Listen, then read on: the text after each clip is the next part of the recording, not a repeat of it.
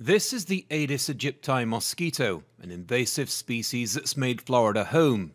Only the females bite and spread disease, and in 2009 were responsible for an outbreak of dengue fever that ripped through the Florida Keys. Officials say traditional control methods are less effective as the insects build resistance. So authorities turned to British biotech firm Oxitec. They develop males with a gene that kills female mosquitoes before they reach maturity the males then continue to breed, passing the altered gene on to more females.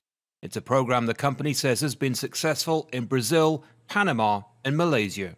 In a November 2016 referendum, 31 out of 33 Monroe County precincts voted in support of our project, some overwhelmingly so. We like to say, because it's true, that our mosquitoes received more support in that election than any human candidate.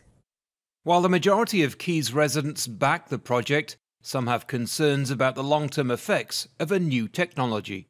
You're going to risk our community. You're going to ask the people in our community to be sacrificial lambs. Really. Because how else are you going to produce your mosquitoes if it weren't for the people in the Keys donating their blood? Despite some local resistance, the pilot project received approval from the Environmental Protection Agency, the culmination of a decade long effort by mosquito control authorities in tackling potentially deadly diseases. Nothing out there is a silver bullet.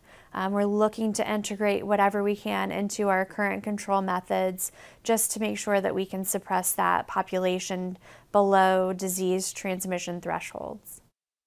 Mosquito borne diseases like malaria, yellow fever, and Zika kill over a million people a year, according to the World Health Organization. While this kind of technology is controversial to some, it's also being watched closely.